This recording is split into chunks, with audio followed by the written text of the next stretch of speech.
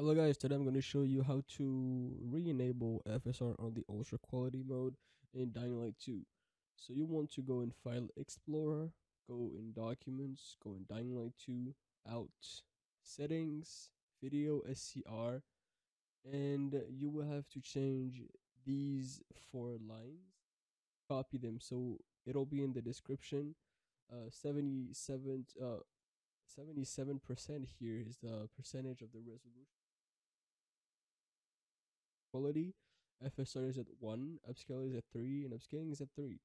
Then you're going to close the, um, save the file, close it, and then right click on it, properties, and turn on the read only option. So that means that the game won't be able to change the render resolution of the FSR and you will be able to render at the ultra quality um, mode, which is 77% of your original resolution. Thanks, guys.